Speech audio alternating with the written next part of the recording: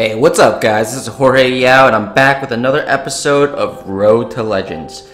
Now, I'm on my second account, the hashtag Yao Squad, and I've been doing pretty well on my Road to Legends, but not as well as I'd like. Um, so, as you all know, the update happened uh, yesterday, about um, let's see, 12 hours ago, more a little bit more than 12 hours ago. I would say like 16 hours ago, I think.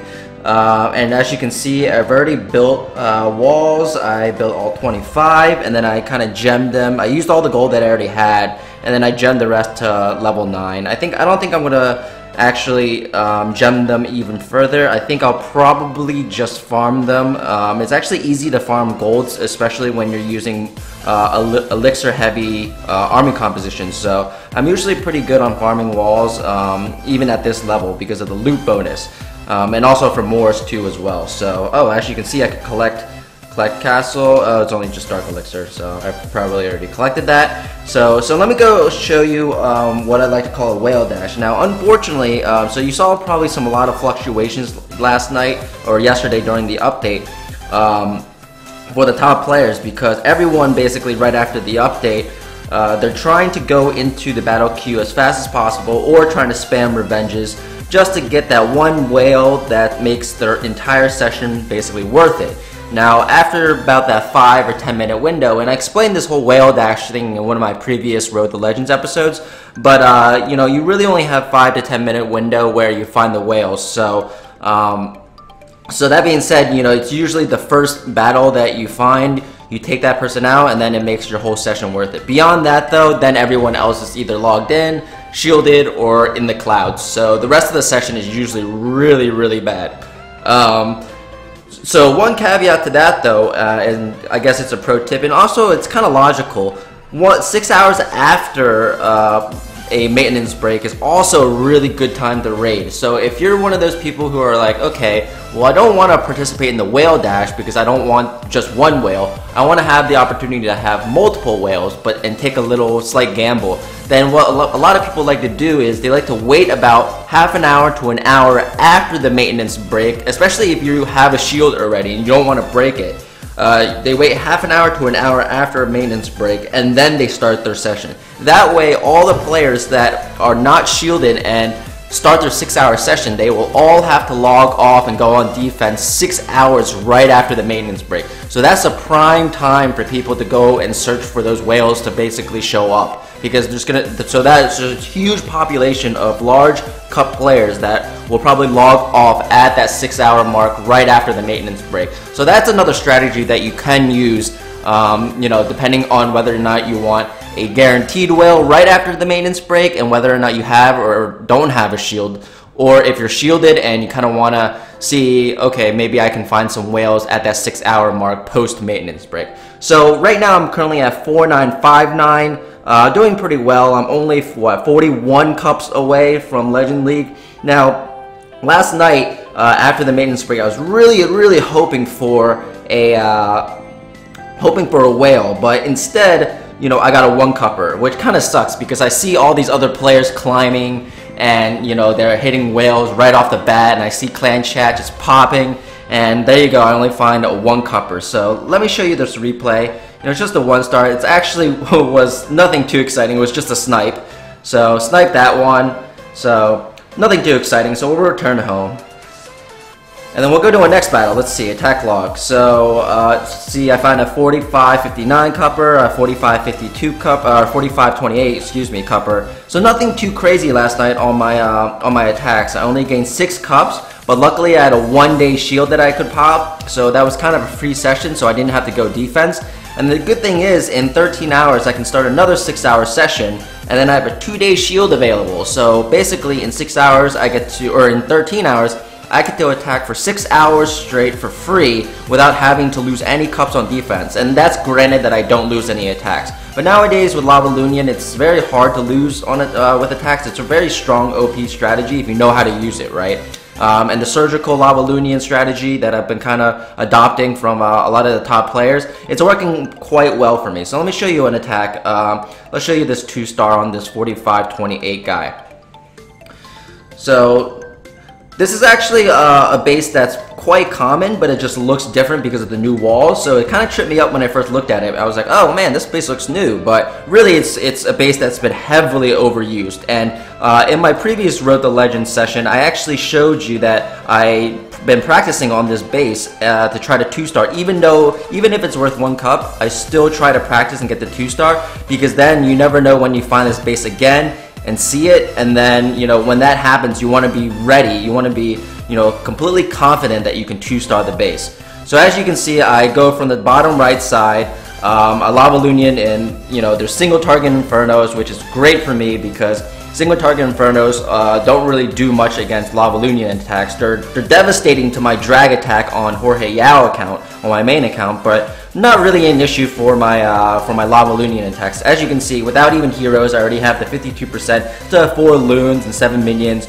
You know, I keep those up as cleanup, uh, just in case. So, no, nothing too different in terms of my normal attack strategy. You know, I'll put in some wall breakers going for the 2 star. Pretty simple, uh, nothing too crazy. Uh, the one thing that I would like to mention though is when you have cleanup like this, um, the one thing that's kind of stressful is knowing where to place your king and queen because if you place it one tile too to far to the right or too far to the left, they could wander. So that's where the cleanup crew kind of comes in, the four loons and the seven minions. Because if there's a building like, let's say, this archer tower or this elixir storage, if they're kind of in your way, or they're like the first line of sight. See, I, I take it out because I'm kind of worried. But my, my queen already went in for it, so it really didn't matter at that point. But a lot of times you'll see that, that if those are your first line of sight in terms of where your queen looks, then your queen will most likely wander. So you don't want that to happen, obviously.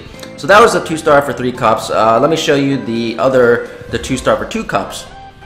Another standard looking base, nothing too crazy. You can see he started building some walls, not really farming them, but uh, you know, just added the walls and there you go. So going in with the uh, the lava hound with the rage, take out the first air defense. You know, I pop pop that one, and then I uh, snipe the archer tower that's there. Uh, and the reason why I snipe the archer towers, uh, because those are the things that really threaten air, so then, you know, then my minions can really do the work. Um, so I do a little bit more surgical at the top too as well with the air defense and the, uh, the lava hound, so pretty cool. As you can see, nothing's coming out of the clan castle. So usually, you know, if there's a lava hound, it would come out of the clan castle. But because of the new update, um, you know, nothing comes out if you're attacking with all air, which is a good, huge advantage.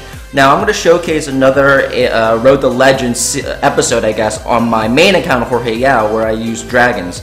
Now, in that one, it's really important that I take out the clan castle because uh, when you go for the two star with heroes, you want to make sure that nothing comes out. Since lava hounds are really devastating against dragons, um, they no longer attack air units, so that's actually really good for dragons. So I might actually switch it up and and use uh, an additional free spell, so and attack from the clan castle side, and that's just the dragon strategy that I'm probably going to be using and showcasing in a little bit uh, in a later episode.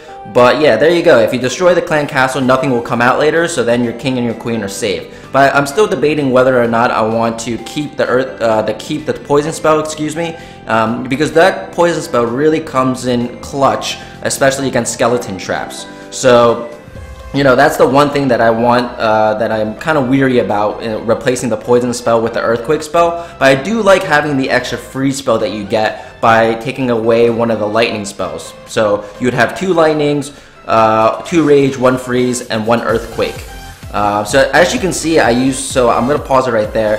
Uh, I probably should have talked about this a little bit sooner, but I used the queen, the king first to clean up these buildings like over here, because if I drop the king and the queen simultaneously, the queen would wander and target the buildings here and wander most likely, because in this base layout, the town hall is more than three uh, spaces deep. So the queen can't snipe. She has to destroy that wall before uh, getting to the town hall. So that's why I dropped the king first clear those buildings out. So when you drop the queen, she's already automatically targeting the the clan castle. Um, so or the the town hall. Sorry, excuse me. And so there you go. She's going for it. Boom, two star, not a problem. So there you go. That's the uh, that basically does it for this episode. There's really not much more. I am upgrading my level seven lightning spell, but I'm not gemming it on this account because um, I don't really use lightning spells with my Lava Loonion attacks, so I'm waiting for that to actually uh, finish in 13 days and 21 hours. Yeah, two weeks basically. Um, if I do change uh, to dragons or something like that and need that lightning spell, I'll probably just finish it using gems. But for now, don't really need to. Uh, so let's take a look at the leaderboards actually right now as I stand, as it stands. So top players, I am currently ranked uh, 31, so not too bad. I'm, I'm making strides. 31 in the world, which is pretty good. And then in the US, I'm ranked number two. So that's that's pretty good. I've been pretty stable for the last uh, week or so. And I'm so happy today that I get to have a free six hour session starting in basically 13 hours. So hopefully in that session, I can gain as many cups as possible and I find a lot of whales because then I can use two weeks, two day shield and not have to go on defense. So I'm really, really hoping to at least cut that margin down, that 41 cup margin to the Legends League down in half. So hopefully I have a good session and I can gain at least 20 cups. Um, best case scenario, I gain 41 cups and hit Legends tonight. Fingers crossed, knock on wood. But uh, yeah, there you go. Um, so there you go. That concludes this episode of Road the Legends, and I will see you guys next time. Don't forget to comment, like, and subscribe, and peace out.